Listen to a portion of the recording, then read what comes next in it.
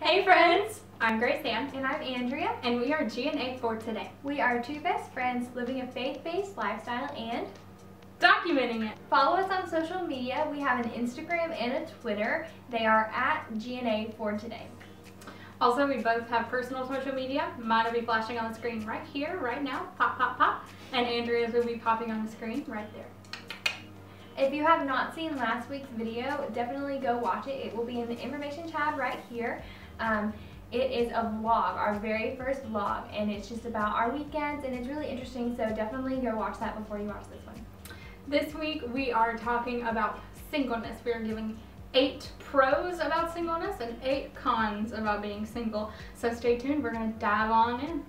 So I did just wanna preface this video by saying both of us are single at the current moment, so we feel like this is really relevant to us and it's an issue that we like to talk about amongst ourselves anyway. Um, I have not been in a long-term relationship, but I have been in some short-term relationships, and Andrea Yeah, has. I've been in a long-term relationship, so I feel like I know a lot of the pros and cons of singleness because I've lived both. Yeah. So we're going to be starting with the eight pros to being single. Pro number one is that you don't have to be tied down. If you're at a young age and you're just getting out of college, you can move wherever you want and you don't have to worry about, well, wait, I need to um, make sure this is somewhere my boyfriend is close to, Mhm. and it's just you don't have to worry about that. And you can go wherever you want. You can travel the world, you can Oh, move across the state, you can move across the U.S. Wherever you are, you can move, and you don't have to worry about having someone Yeah. there to tie you down. You've got the freedom to Yeah. roam around, do whatever you want.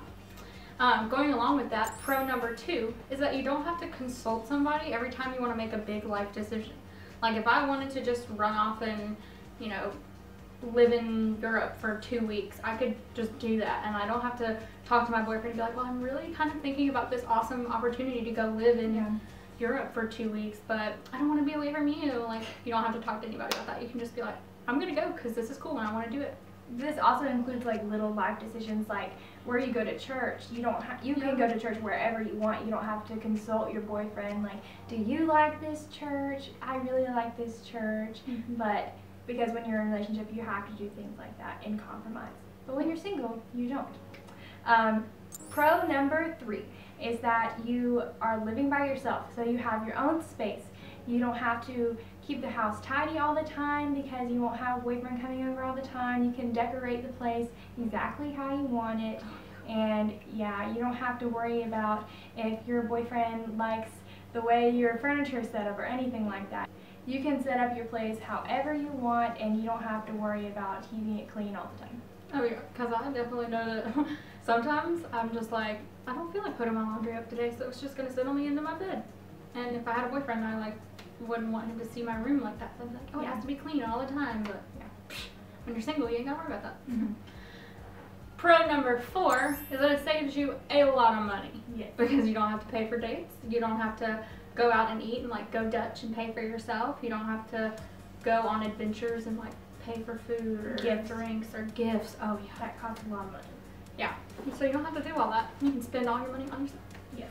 And pro number five, you don't have to, you know, this is a struggle. If you've been in a relationship, you do not have to struggle um, in balancing your relationship with your boyfriend and your relationship with your friends because that is really hard. We're actually going to make a video about that later on in our YouTube journey, but you don't have to worry about keeping your friends close and your boyfriend close at the same time because that is a big struggle.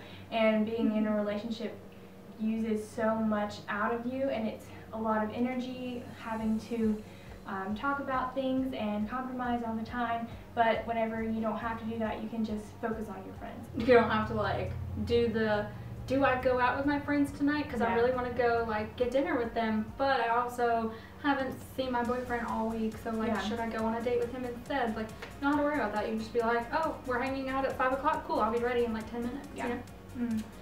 Pro number six is that you get more dating experience. You get to date casually and meet people randomly and be like, hey, do you want to go on a date? I think you're cute.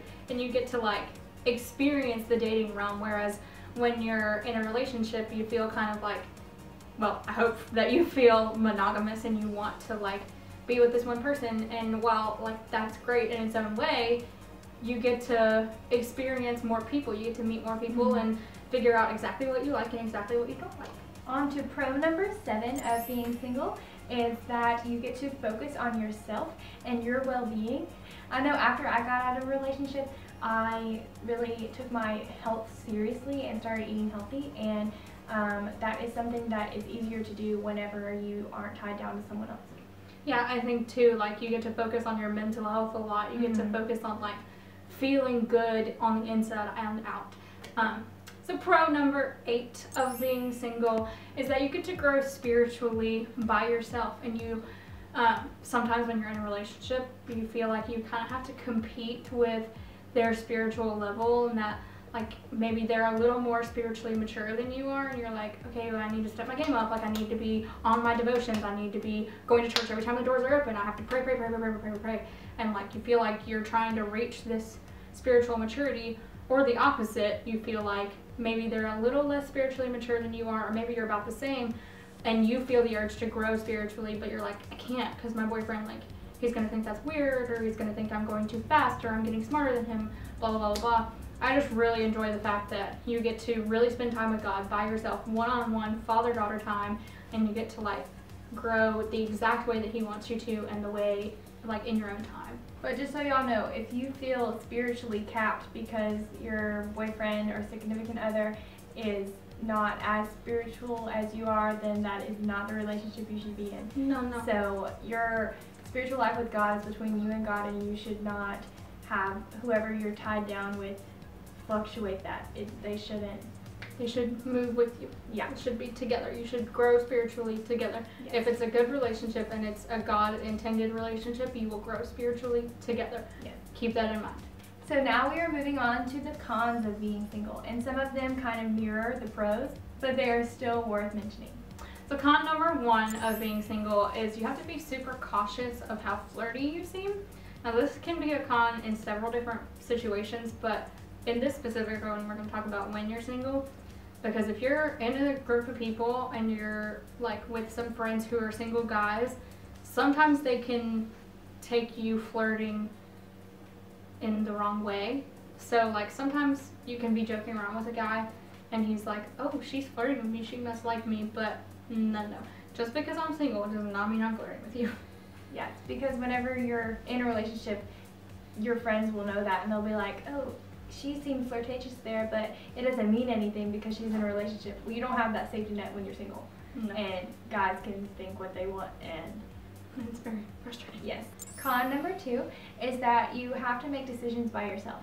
And depending on what kind of person you are, this could be a pro or a con, but I am very dependent on others, and I feel like this is definitely a con for me. I don't have my significant other there to ask about what should I do in this situation, and it's just kind of sometimes it's harder to make decisions whenever you're the only one who is making the decision. Yeah, and I feel like too when you're making decisions when you're in a relationship, you can kind of pray together about it and be like, Mhm. well, how would this strengthen us or how would this weaken us and etc. Whereas when you're single, you're like, well, I think that I'm supposed to do this. Is this right? Like I don't Yeah. know, but okay, I'm just gonna do whatever. You know, that's I don't really like that. Con number three is that you constantly feel like you have to dress to impress. Mm. You feel like every time you go out, like, is this going to be the day that I meet the love of my life? Is this the day that I'm going to meet my husband? I should be wearing like something nice. I don't want to be wearing like Nikes and a t-shirt when I meet my future husband. I want to look nice and you feel like every time you go out you have to have makeup on, your hair done and your nails done and you have to wear nice clothing when that gets really tiring. yes. Um, so con number four is that sometimes you feel lonely. We've all felt this. Um, whenever you don't have someone there sending you the good morning texts and telling you that they love you, it can get a little lonely. And just because sometimes we put our worth in what other people say to us more than we should. And so when you don't have those words of affirmation coming from your significant other because you don't have one, then it can get lonely. Yeah, and to piggyback off of that, sometimes when you know maybe you're not growing spiritually as well as you should be, or as quickly as you feel like you should be, or maybe you're just having a bad day and you're you know feeling like less of a person because you're kind of lonely maybe your mental health's down a little bit. You can be tempted much easier by the devil. Um, there's lots of different temptations that can catch you more specifically when you're single because you don't have to think about the baggage that it brings and that it puts on your relationship because you know maybe you'll feel tempted to like watch porn or to go have sex with a random person that you met in a bar or whatever because it's there and it's easy and you won't have repercussions in the moment. But we know obviously that you'll have repercussions in the end and that it's just baggage. So that's definitely a con for some people not us specifically but temptation is always there and is always a negative thing. Moving on to con number five is that sometimes dating is not what it seems. dating is not always exciting. A lot of times it is very awkward. There's a lot of times in the early stages of dating, and especially casual dating, where you get to know some people a little too much, or you feel awkward when you don't know enough about the person, and you're like, I don't know how you feel about this, let's talk about it. And it just gets very awkward and weird and not fun. And you also just have that weird stage of, I don't know if he likes me, and Yeah. what is he thinking? Like, whenever you're in a relationship with that person, they'll tell you. But Yeah. when you're just in the dating, you have the awkwardness of not knowing. Yeah, and like, should I tell him how I feel? Yeah. Is he ever gonna Oh. tell? Oh, oh, that's the worst. Should I ruin our friendship? Like, we're Yeah. friends. Should I tell him? Oh, man. that's the worst. Yeah. So moving on to number six is this is a big con for me. I know for you too, but it is the uncertainty of your future. the uncertainty. This is what keeps you awake at night. yes.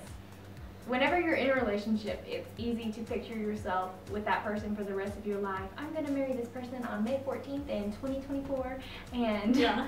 But whenever you're single, you don't really know who you're going to end up with, and that can keep you up at night. That can consume a lot of your prayers, um, which it should. It should, It should. consume a lot of your prayers. But I think it's also like a lot of the time you're like, oh, I've been single for X amount of time. Does that mean I'm gonna be single forever? Like, yeah, or I've been on X amount of terrible dates. Does that mean I'm gonna be single forever? Is this a sign? Like, is God telling me that I need to be single? Like, then it can get really nerve wracking, and you're like, oh my gosh, what just the unknown.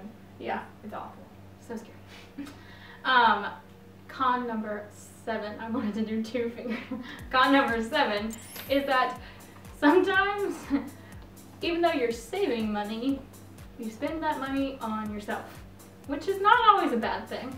Can be a pro, but a lot of times when we spend money on ourselves, we spend money on useless stuff that we don't need, stuff that we want. Me, the dollar section at Target is Oh no. terrible. I feel like I've spent easily like three hundred dollars there in my life. I don't think that bad. I was just like the dollar section because I'm like, oh, it's a dollar. I'll get like five. And I'm like, so yeah, you can spend a lot of money on yourself and on useless things that you don't need. And you're like, well, you know, I want it, so I'm gonna get it because I have extra money. No, bad habits, friends. No, no, no, No, no. Con number eight is that negative connotation that comes with singleness. Ugh. Everyone is like, especially whenever you're in your young 20s in college, people are always asking you, so are you dating anybody? And when you say no, they're like, why? Why? And they think like, what's wrong with her? Why is she single? Nothing is wrong with you if you are single. Yeah, it drives me crazy. I hate when people are like, why are you single? You're so pretty. I'm like, I don't know. Like, stop asking me What's wrong with being single right now? Yeah. It's just a state of life. You don't have to be with someone every minute of your life. Like Yeah. you need this time of singleness. Yeah, I hate that question so much. Pet peeve. Yeah. Do not ask me why I'm single. It's not your business. And honestly, I don't know. Thank you guys so much for watching. That is all we have on pros and cons of being single. Let us know in the comments below if you disagree or agree with any of our pros and cons. And if you have any more, let us know because we struggled to come up with this many. Um, so let us know in the comments. Please, we would love to talk to you about this. So make sure you subscribe to our channel because we're cool. Yikes. and if you liked this video, um, like it. Give it a thumbs up. Yeah, it's pretty self-explanatory. If you liked this video, like it. because we love it when you like our videos. But makes us so happy. yeah, because we love you and you should like our videos. Make sure you hit that bell. It'll give you notification every single time we post so you'll never miss out on when we post videos. Make sure that you join us next week as we talk about dun, dun, dun, what to do if your friends don't like your boyfriend. Scandal! We have a lot to say on that. We're so excited. We have experience. Make sure you subscribe so you don't miss that and that you hit the bell. See you next week. Bye, friends. um, that was cute. Thanks. we are humans. We need it. So you'll never miss every what? What? Don't never miss an upload.